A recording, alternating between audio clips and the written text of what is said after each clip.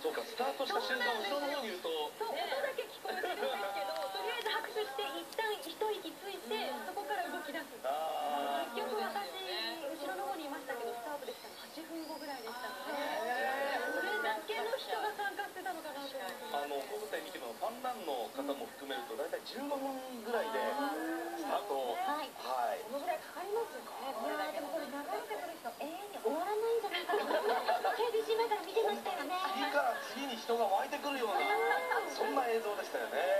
さあこれからランナーたちはフィニッシュの糸島を目指すことになります。いやー大迫力でした。ね